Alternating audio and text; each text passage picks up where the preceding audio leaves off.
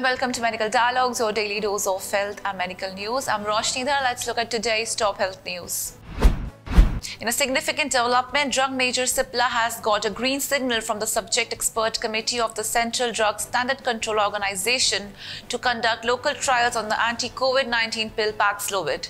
The SEC of the Central Drug Standard Control Organization has granted Cipla permission to perform bioavailability and bioequivalence trials for the anti-COVID-19 pill Paxlovid as per the media report.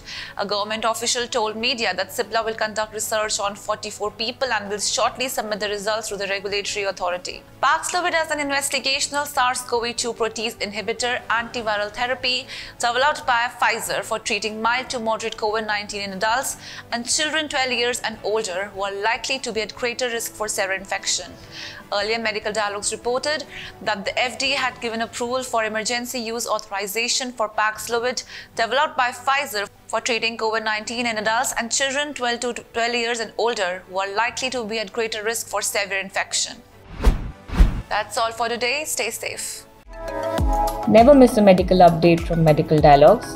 Like, subscribe, and press the bell icon.